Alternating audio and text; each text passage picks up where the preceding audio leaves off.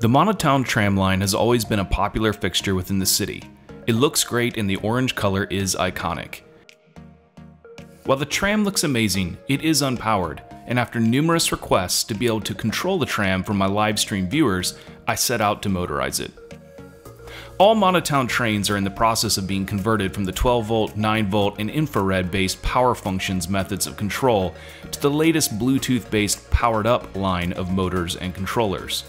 Bluetooth means no more line of sight issues, which can crop up within my city, but more importantly, it means myself and my live stream viewers can now control the trains via computer, in this case, the Monotown mainframe.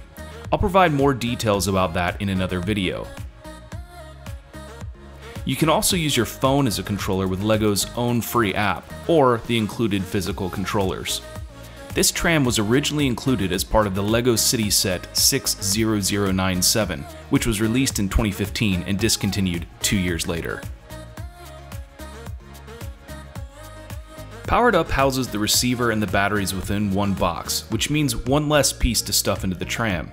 But even so, it's a fairly small vehicle, I pretty much have to completely disassemble one of the cars and rebuild the middle section to support a cable pass-through.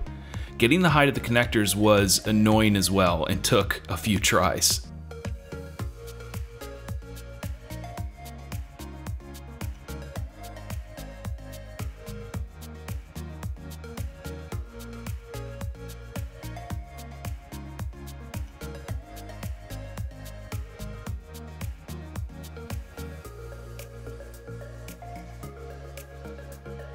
You know what they say, fourth time is the charm.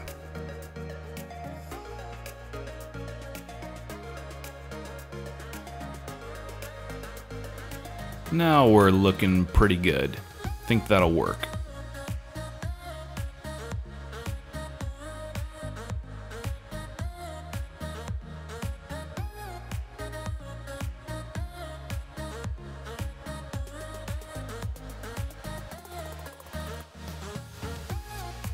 Originally, I thought I'd house the receiver within the middle compartment of the tram, but that turned out to be not big enough, so I ended up routing the cable through the middle section and the receiver box is now housed in the second tram car.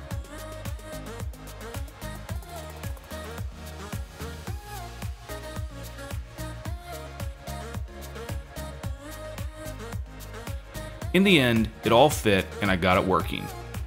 Now for the test run, and away it goes.